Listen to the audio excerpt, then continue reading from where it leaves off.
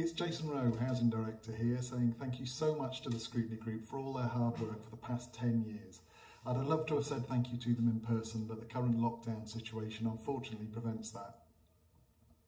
I can't believe it's 10 years since the Scrutiny Group started directly improving Newydd services. We met in a hotel back in 2010 to work out how this was going to work and how to make sure the group were independent enough to challenge the way Newydd provides services. And since then, the group has gone from strength to strength in reviewing all kinds of aspects of our services. The first review they carried out in 2010 was on customer service and resulted in us completely changing the way customer inquiries are dealt with.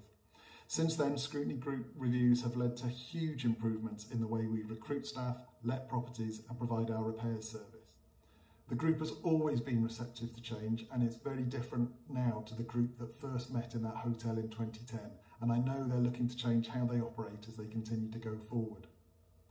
As the group regularly attended Newydd board meetings to discuss their reports, I know the board would want me to pass on their thanks and congratulations for 10 years of improvements to Newydd services. Once again, thank you very much for your hard work and we look forward to continuing to work with you in the future.